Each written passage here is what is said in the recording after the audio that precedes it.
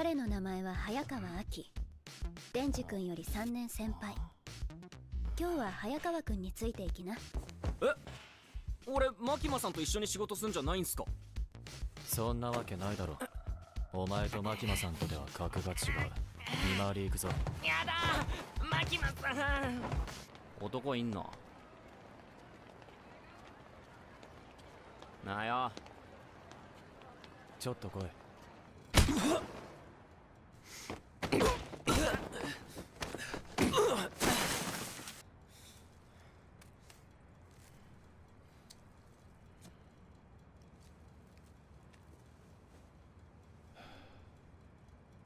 お前仕事やめろ。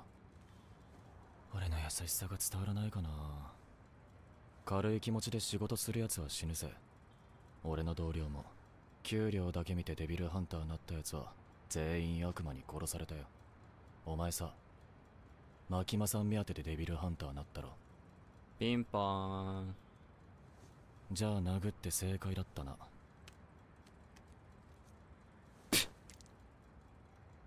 マキマさんには俺から言っといてやるよ。お前は悪魔にビビって逃げたってな。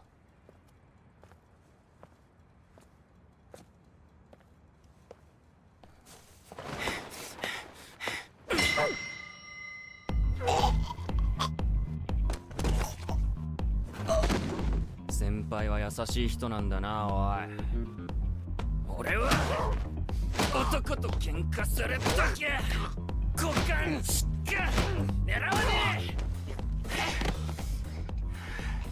初めて飯食わせてもらった。俺にとっちゃ夢みてえな生活だ。死んでもいいっつうのよっぱなし。俺だけの命じゃなかった。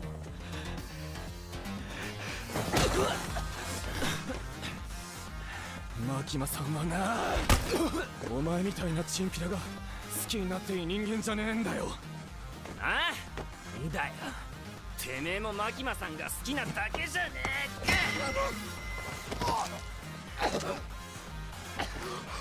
お前マジで。